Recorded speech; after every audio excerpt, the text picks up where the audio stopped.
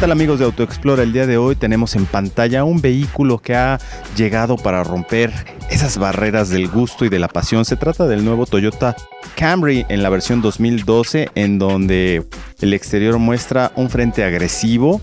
Vemos el uso de cromo como buen auto japonés, pero unos grupos ópticos que ahora se adaptan a la fisonomía de la marca con una fascia muy grande y faros de niebla destacan por ser de alta penetración, sin embargo pues extrañamos unos faros con mejor iluminación. Los rines son de nuevo diseño de 17 pulgadas que hacen juego también con los laterales del auto y además la parte trasera cambia completamente para ofrecernos las calaveras en doble tonalidad blanco y rojo flanqueadas por una raya de cromo también muy al estilo de los autos japoneses.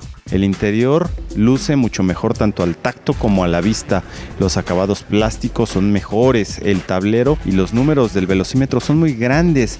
Esto nos indica, bueno, pues que está pensado este vehículo para personas que siguen toda una tradición con el Toyota eh, Camry. El volante tiene los mandos del navegador, de la radio, del piloto automático, por supuesto. Y en la consola central encontramos una pantalla que, bueno, aparte de albergar todas las funciones de la radio, pues también nos da la opción del navegador. Además de que tenemos el control de la temperatura, por supuesto. Además, bueno, pues un habitáculo que cinco adultos viajarán cómodamente. En la parte de atrás, la banca trasera destaca por el gran espacio para tres ocupantes. Debajo del cofre encontramos un motor de 6 cilindros en B de 3.5 litros de 268 caballos que vaya que responde bastante bien con respecto a su competencia. Logra 248 libras pie de torque que son transmitidas a las ruedas delanteras y que bueno pues su mejor esfuerzo y su mejor trabajo se verá recompensado con la briosa respuesta del motor en cualquier situación. El consumo por supuesto también es destacable en nuestras pruebas. Estuvo otorgando 12.2 kilómetros por litro nada mal para un auto de 6 cilindros en B con esta potencia. Lo ha hecho definitivamente muy bien Toyota con el nuevo Camry. Lo vemos en la pantalla.